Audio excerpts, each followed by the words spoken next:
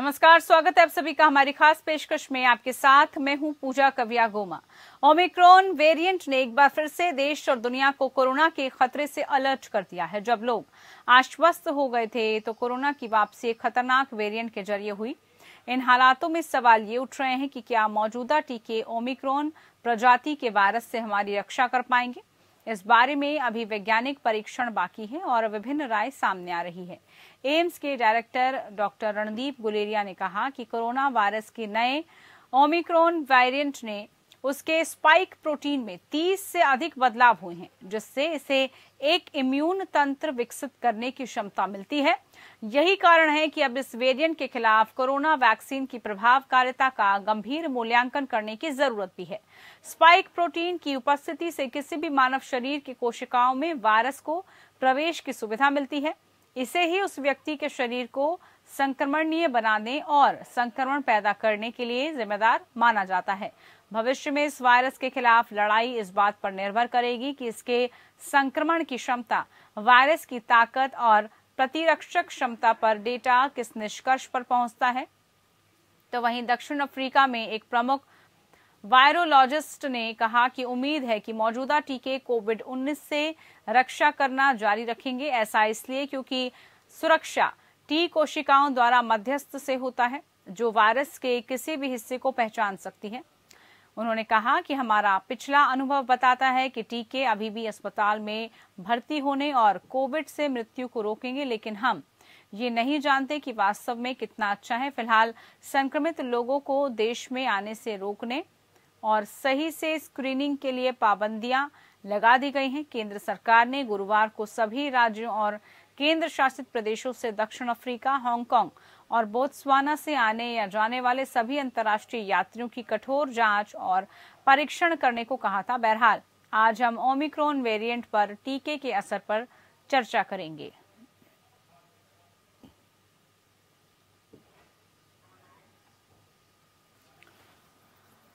तो टीके का क्या असर रहने वाला है इस नए वेरिएंट पर?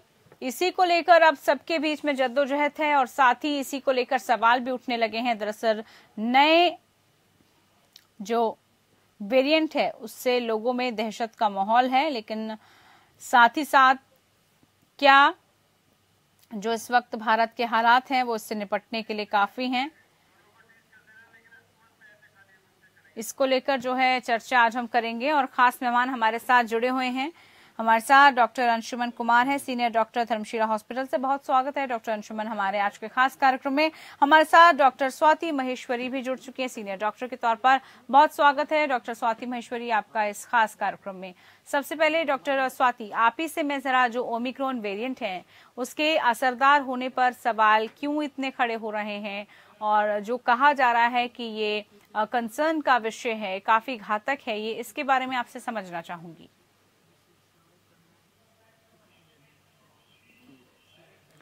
डॉक्टर स्वाति, आप तक मेरी आवाज़ पहुँच रही है? चलिए, डॉक्टर स्वाति से चर्चा करेंगे, एक बार फिर से उनसे जुड़ने की कोशिश करेंगे। डॉक्टर अंशुमन हमारे साथ जुड़ चुके हैं, उनसे ये जो है सवाल मैं पूछ लेती हूँ। डॉक्टर अंशुमन, आपको मेरी आवाज़ आ रही होगी तो सवाल यही है कि जो ओमिक्रॉन वेरिएंट है, उसके असरदार होने पर जो सवाल उठ रहे हैं, वो आखिरकार क्यों उठ रहे हैं? क्यों कहा जा रहा है कि जो ये नया वेरियंट है, बहुत घातक है?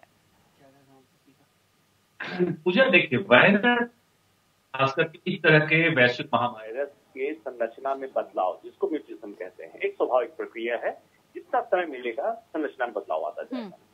दो कैटेगराइज किया गया था वीओसी वेरिएंट ऑफ़ कंसर्न जिसको हम्म। कहते हैं and VOI virus under VUI virus under interest virus under interest doctor या साइंटिस्ट के काम का है वीओसी पब्लिक के काम का है जो पब्लिक के समस्याओं से जुड़े हुए सवाल होते हैं। ओमिक्रॉन में यही हुआ म्यूटेशन बहुत सारे हुए लेकिन ओमिक्रॉन इसलिए चर्चे में आया इसका पहले नाम दिया गया B one point one point five two nine उसके बाद इसका ग्रीक लेटर से क्योंकि आपको याद होगा इंडिया के नाम पे एक वायरस का नाम आया था तो बहुत हवा उसमें बवाल हुआ था फिर डिसाइड हुआ डब्ल्यूएचओ ने हम्म। किया कि ग्रीक न्यूमरोलॉजिक के अल्फ़ाबेट के हिसाब से हम वायरस का नाम रखेंगे। Alpha beta gamma delta nu lambda तक हो गया था। और एक्सपेक्टेड था कि इस वायरस का नाम न्यू होगा। लेकिन एक टेक्निकल वजह की वजह न्यू के बाद जी आता है जो। चाइना के हमारे प्रेसिडेंट है उनका नाम आ सकता था तो इसलिए हम्म। दोनों लेटर को गायब कर दिया गया और इसका नाम ओमिक्रॉन दिया गया। ये टर्मिनोलॉजी के तहत है। मेन समस्या साइंटिफिक समस्या इसमें ये आई कि thirty two mutation spike protein में हुए हैं। अभी तक हाईएस्ट म्यूटेशन डेल्टा में देखा गया था जिसमें ट्वेंटी फाइव म्यूटेशन थे वो म्यूटेशन कितना घातक होगा अभी तक सिद्ध नहीं हुआ। अभी तक सिंपली ये हुआ है कि ये संक्रामक ज़्यादा है चार गुना ज़्यादा है डेल्टा संक्रामक ये प्रूव हो गया है। हम्म। दूसरा प्रूव हो गया इजली एंटर कर जाता है बॉडी के अंदर। और तीसरी बात ये प्रूव हुई है कि इम्यून सिस्टम को चकमा देने में ये कामयाब है। इम्यून इवेड मैकेनिज्म जिससे दो बातें निकल के आती है। या तो कोरोना से संक्रमित व्यक्ति जिनमें एंटीबॉडी बना है दोबारा संक्रमित हो सकते हैं। और हम्म। जिनको टीका लगा है। हो सकता है टीका कम असरदार हो हो सकता है। अभी स्पेकुलेटेड है कंफर्म नहीं हुआ इस पर रिसर्च चल रहा है हम्म। लेकिन मारक क्षमता बढ़ी हुई है ऐसा नहीं देखा गया है। तीन हफ़्ते पुराना वायरस है ये स्ट्रेन तीन हफ़्ते का है। हम्म। तो अगर मारक क्षमता नहीं बढ़ती तो बहुत हमें डरने की ज़रूरत नहीं है पैनिक करने की ज़रूरत नहीं है। और अगर टीका की कोई कमी आएगी तो हम्म। उसको वर्जन इंप्रूव कर दिया जाएगा एग्जिस्टिंग वैक्सीन में उसमें भी कोई चिंताजनक बात नहीं आएगी। चलिए तो ये तो रही कि क्यों जो है हम इसको कह रहे हैं कि जो नया वेरिएंट है इतना खतरनाक है। डॉक्टर स्वाति महेश्वरी भी है हमारे साथ। डॉक्टर स्वाति डॉक्टर गुलेरिया ने की अगर उनकी बात करें तो उन्होंने कहा है कि जो प्रतिरक्षक क्षमता है, उस पर डेटे का आकलन हो, आईसीएमआर पर क्या पहल जो है वो इस पर कर सकता है? देखिए डेफिनेटली जब इस तरह का कोई वेरिएंट आता है जिससे हमें इस तरह की शंका दिखाई देती है कि वो हमारे इम्यूनिटी सिस्टम को बाईपास कर सकता है और जो हम मौजूदा एंटीबॉडीज हमारे शरीर के अंदर हैं जो वैक्सीन के द्वारा बन रही हैं क्या वो उतनी असरदार होंगी या नहीं हम्म। होंगी? इस तरह का सवाल जब उठता है तो जितनी भी साइंटिफिक कम्युनिटीज होती हैं वो ये प्रयास करती है कि इसकी जल्द से जल्द पुष्टि कर सके कि क्या हमें वैक्सीन में संशोधन करने की ज़रूरत है हमें कितनी ज़्यादा सुरक्षा मिल रही है नहीं मिल रही है वो सब इन सारी बातों की पुष्टि करने की कोशिश करती है हम्म। साथ ही हमें ये भी समझना लेकिन ज़रूरी है कि भारत में ज़्यादातर क्योंकि कोविशील्ड और कोवैक्सीन जैसी वैक्सीन लगी है और कोवैक्सीन की ही अगर बात करें तो ये किल्ड वैक्सीन है यानी कि जो हम्म। वायरस है उसको पूरा का पूरा किल करके उस टेक्नोलॉजी पे बनाई गई वैक्सीन है तो ये एक ऐसी वैक्सीन है जो हर तरह के वेरिएंट से को झेलने के लिए काफ़ी हद तक बाकी वैक्सीन से ज़्यादा सक्षम भी है क्योंकि ये काफ़ी पुरानी तकनीक से बनाई गई है तो हम एज भारतीय अगर देखें तो कहीं ना कहीं थोड़ा एक एडवांटेज पर हैं। बाकी लोगों से जिन लोगों को मैसेंजर आरएनए वैक्सीन लगी हैं जहाँ की वैक्सीन वेरिएंट्स पर उतना अच्छा असर नहीं कर पाती हैं। हम्म। लेकिन दूसरी बात ये ज़रूर है कि जब किसी भी वायरस की इन्फेक्शसनेस बहुत बढ़ जाती है और वो एक व्यक्ति से दूसरे व्यक्ति में तेज़ी से जंप करने लगता है ज़्यादा लोगों को प्रभावित करने लगता है तो एक पैनिक की सिचुएशन बनती है।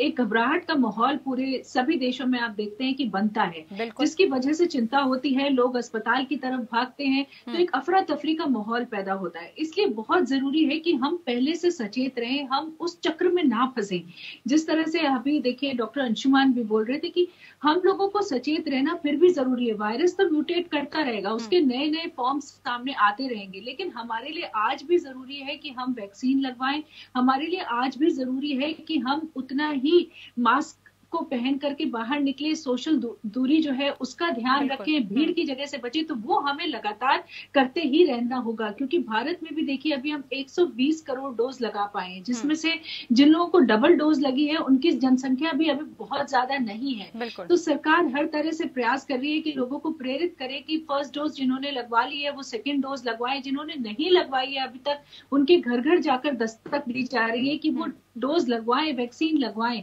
तो लोग अभी भी इस बात को समझें कि जो भी वेरिएंट्स आ रहे हैं उनको डील हम्म। करने में हमारी वैक्सीन काफ़ी हद हद तक कारगर है और आपको सिवियर डिज़ीज़ से बचाती है इसलिए चाहे कोई भी वेरिएंट हमारे आसपास क्यों ना घूम रहा हो हमें वैक्सीन लगवानी ही है हम्म। तो ज़रूर वैक्सीन लगवाएँ और ये जो एक कोशिश चल रही है बच्चों को सुरक्षित करने की और एक हर्ड इम्यूनिटी पैदा करने की सोसाइटी में उसके हम्म। प्रति जो है सबका योगदान होना बहुत ज़रूरी है तो वो योगदान ज़रूर करें ताकि हम जो है ये एक हर्ड इम्यूनिटी का जो नंबर है और हम जो चाहते हैं सुरक्षा घेरा बना ले वो हम ज़रूर बना पाए। ऐसा ना हो कि वो बार बार भिदे और बार बार हम लोग दूसरी लहर तीसरी लहर चौथी लहर के चपेट में आए ये नहीं होना चाहिए। और उसके लिए सबका योगदान ज़रूरी है। एक तरफ़ सरकार अपने कदम उठाएगी कि किस तरह से हम इस नए वेरिएंट के लिए जिनोमिक सीक्वेंसिंग करें किस तरह से आने वाले लोगों की स्क्रीनिंग करें किस तरह से हॉटस्पॉट्स आइडेंटिफाई करें समय से।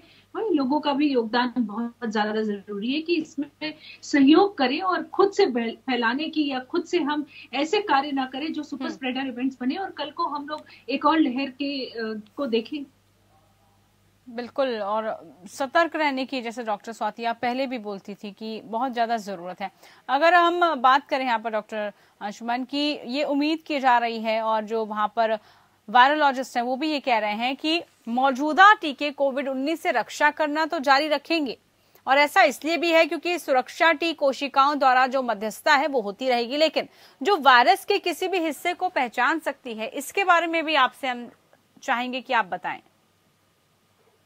जी। बिल्कुल ठीक है देखिए उसके पहले ये समझना ज़रूरी संक्रमण और बीमारी में अंतर समझना ज़रूरी है। हाँ। संक्रमण का मतलब सिंपली हुआ टेस्ट पॉजिटिव है। बीमारी मतलब इनके फेफड़े को इंटेस्टिन को या किसी भी अंग को डैमेज हम्म। किया और उनको लक्षण आ गए। दोनों में अंतर समझना ज़रूरी हम्म। तो संक्रमण से वैक्सीन रोक दे पूरी तरह हंड्रेड परसेंट ये कोई ज़रूरी नहीं है। कोई भी वैक्सीन हंड्रेड परसेंट संक्रमण से नहीं रोक सकता है। हम्म। बीमारी से बीमारी के अति गंभीर होने में वैक्सीन का रोल है। इसमें कोई दो मत नहीं। एक चीज़ ज़रूर देखा गया ओमिक्रॉन में एस प्रोटीन डिलीशन हुआ है एस प्रोटीन डिलीशन ये ज़रूर कर रहा कि आरटीपीसीआर टेस्ट में डिटेक्शन को कम कर रहा है पहली बात। और दूसरा जो इम्यून इवेड मैकेनिज्म इसने डेवलप किया है हम्म। जिसके कारण ये एंटीबॉडी को चकमा दे रहा है जो ऑलरेडी बने हुए एंटीबॉडी है। इसके कारण हो सकता है संक्रमण दर बढ़ जाए हम्म। लेकिन किसी को अति गंभीर होने आईसीयू में भर्ती होने या बीमार होने से वैक्सीनेशन अभी भी एक इफ़ेक्टिव टूल है। तो दोनों वैक्सीनेशन ज़रूरी है बायोलॉजिकल वैक्सीन जो कोविशील्ड कोवैक्सीन या जो भी अन्य हम्म। वैक्सीन उपलब्ध है और सोशल वैक्सीन जिसको हम कहते हैं कि डिस्टेंसिंग करें दूरी रखें भीड़ भाड़ में ना जाएँ और मास्क लगाएँ। सोशल वैक्सीन का उपयोग करें। अगर दोनों वैक्सीन को लगा करें आप तो ओमिक्रॉन से अभी भी बच सकते हैं। कोई कोरोना का ही फाइट अंदरू है कोई नया पैदा नहीं हुआ है नया वायरस नहीं आया। बिल्कुल यानी कि अंशुमन जी तरीके वो ही हैं हमें वैसे ही अपना ख्याल रखना है, वैसे ही हमें अपने आप को सुरक्षित रखना है, जैसे हम पहले रखा करते थे। नाम बदल रहे हैं, लेकिन जो हमें काम करना है वो वैसे ही करना है। और भी बहुत सारी जानकारियाँ हैं जो हम खास मेहमानों से लेंगे। हैं डॉक्टर स्वाति महेश्वरी, अगर मौजूदा डाटा की बात करें तो ये डाटा कितना मददगार हो सकता है टीके के असर को बदले माहौल में समझने के लिए?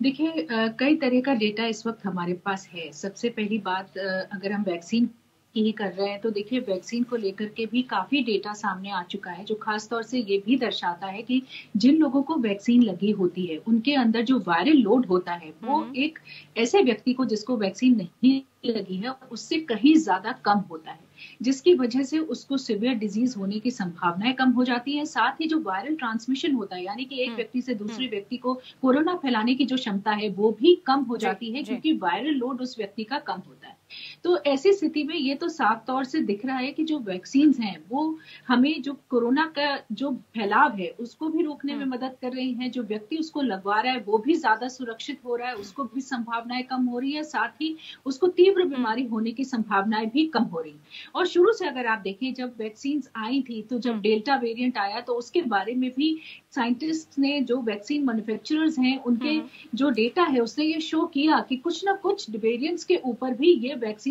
असरदार हैं। अभी देखिए, आने वाले वक्त में और एक दो हफ़्ते के अंदर मुझे लगता है वैक्सीन मैन्युफैक्चरर्स भी लगातार अब इस ओमी माइक्रोन के ऊपर भी शोध करेंगे और ये बताने की कोशिश करेंगे कि उनके मौजूदा वैक्सीन इस वेरियंट के ऊपर कितना ज़्यादा कारगर होगी या नहीं होगी, ये अभी हमें चीज़ें और स्वाभाविक तौर से दिखाई देंगी। लेकिन अगर आप देखें तो क्योंकि वायरस उसी फैमिली का है, जो कि ओरिजिनल कोरोना वायरस फैमिली है और स्पाइक प्रोटीन्स में अभी भी ऐसे स्पाइक प्रोटीन्स हैं जिनमें म्यूटेशन नहीं हुआ है। कुछ में हुआ है तो कुछ कुछ भी नहीं हुआ है।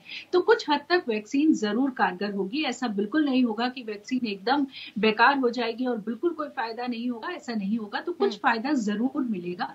साथ ही अगर अभी आप देखें तो बहुत सारे साइंटिस्ट जो हैं वो इस ओमी माइक्रोन के जो इस वक्त प्रवृत्ति दिखाई दे रही है उसके ऊपर भी स्टडी कर रहे हैं। क्योंकि अभी ये क्लियर नहीं हुआ है कि क्या ये और ज़्यादा घातक होगा क्या इसकी हम्म। वजह से सिवियर डिज़ीज़ होगी क्या हॉस्पिटलाइजेशन रेट बढ़ेगा ये अभी क्लियर नहीं है और जहाँ तक अभी तक केसेस सामने आए हैं वो माइल्ड केसेस हैं। अगर आप देखें डॉक्टर एंजेलिक जो है जो कि साउथ अफ्रीका की हेड है मेडिकल एसोसिएशन का उनका भी कहना है कि उन्होंने यंग लोगों में ज़्यादा केसेस देखे हैं और साथ ही माइल्ड केसेस ज़्यादा देखे हैं। लोगों में ज़्यादातर फटीक दिखाई दे रहा है। उनका कहना है ड्राई कफ वो भी जो हम्म। लगातार नहीं होता ऑन ऑफ़ इस तरह के ये समस्याएँ ज़्यादा आ रही हैं जो कि माइल्ड डिज़ीज़ के लक्षण हैं।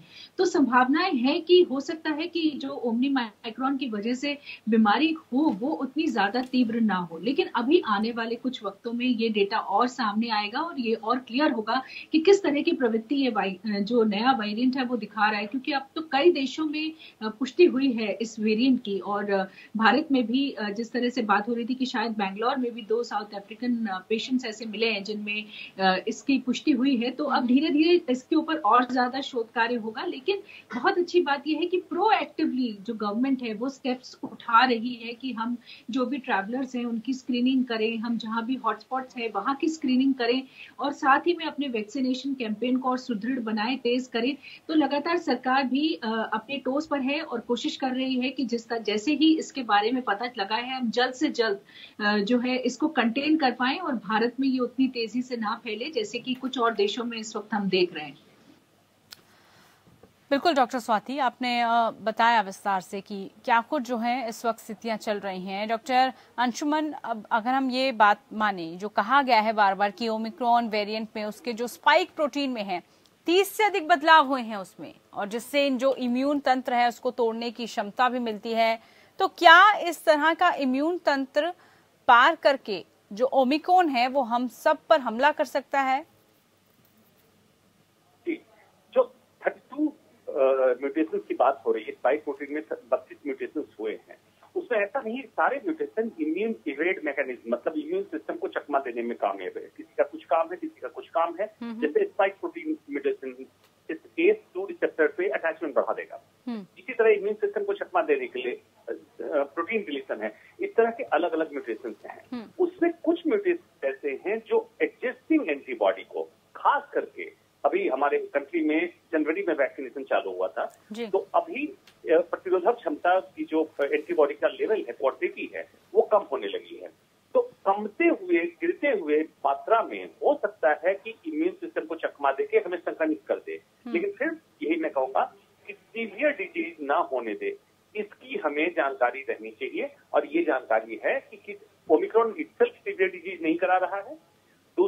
लोग वैक्सीनेटेड हम्म। है उनमें अति गंभीर रूप नहीं ले रहा है तो अच्छी बात है इसलिए आज भी मैसेज यही है कि वैक्सीनेशन प्रोसेस और वैक्सीनेशन वेलोसिटी को वैक्सीन वेलोसिटी को बढ़ा के रखें और पब्लिक से रिक्वेस्ट है कि जाके आप फास्ट वैक्सीनेशन कराएँ हम्म। अपने वैक्सीनेशन डोज को पूरा करें जो एक डोज लेके मिस करके बैठे हैं वो जाके सेकेंड डोज लें तभी जाके आप इसके फर्दर ट्रांसमिशन को रोक सकेंगे बिल्कुल ओमिक्रॉन इंडिया में आएगा ये तय है अगर देखिए वर्ल्ड में कहीं भी एक स्ट्रेन आया पूरे कंट्री में आएगा पूरे हर वर्ल्ड में हर कोने में आएगा हम्म। हमारी कोशिश ये होनी चाहिए उसके ट्रांसमिशन चेन को तोड़ दें तोड़ने की प्रक्रिया वही है biological vaccine and social vaccine इसलिए अभी तक कोई भी ऐसी परिस्थिति नहीं मिली है जिससे हम तोड़ सकें। बिल्कुल और तैयारी हमें उसको लेकर करनी पड़ेगी। डॉक्टर स्वाति आप भी इस बात से सहमत होंगी कि स्ट्रेन आएगा और ये सब चीज़ें तो फैलेंगी ही लेकिन हमें एहतियात बरतने की ज़रूरत है। पहले जो चीज़ें हो चुकी हैं उससे हमें सबक भी लेना होगा। बिल्कुल सबक लेना होगा। देखिए दूसरी लहर बहुत ज़्यादा कष्टकारी रही और कोई भी उससे अछूता नहीं रहा और हर किसी न किसी न किसी न किसी फॉर्म में उसके कष्ट को झेला है और हम जानते हैं कि किस तरह से उसने कहर हम लोगों पे भरपाया था तो हम्म। हमें भी अब सतर्क रहकर दोबारा वो मंजर हम लोग ना देखें उसकी पूरी कोशिश करनी चाहिए और जैसे अभी डॉक्टर अंशुमान ने सही हम्म। बात बोली है कि जो एंटीबॉडी लेवल्स हैं हमारे हम लोग का क्योंकि काफ़ी पहले वैक्सीनेशन कैंपेन स्टार्ट हो गया था जनवरी में तो अब उसका आकलन करना भी बहुत ज़्यादा ज़रूरी है और लगातार एज मेडिकोज हम लोग भी ये आवाज़ उठाते रहे हैं कि कम से कम जो हेल्थ केयर वर्कर्स हैं उनसे हमें बूस्टर डोज लगाने की शुरुआत कर देनी चाहिए क्योंकि वो एक ऐसा वर्ग है जिससे सबसे पहले वैक्सीन लगी और अगर संक्रमण बढ़ता है तो सबसे ज़्यादा क्लोजली अगर किसी इस इन्फेक्शन के आएँगे तो वो हमारे हेल्थ केयर वर्कर्स ही आएँगे। और पहले ही हमारे पास बहुत लिमिटेड नंबर है हेल्थ केयर वर्कर्स का। दूसरी लहर में भी आपने देखा कि कितने सारे हेल्थ केयर वर्कर्स की शहादत हुई। तो ऐसे में ज़रूरी है कि हम एक ये बड़ा निर्णय भी लें कि हम अपने हेल्थ केयर वर्कर्स को बूस्टर डोज लगाना शुरू करें साथ में पैरेलली ताकि हम उनको ज़्यादा सुरक्षित कर पाए। और अगर ये वायरस तेज़ी से फैलता है या इस तरह के कोई मंजर सामने आता है तो कम से कम हम उन लोगों को जो कि केयर प्रोवाइड करेंगे और लोगों को मरने से बचाएँगे उनको सुरक्षित कर पाए।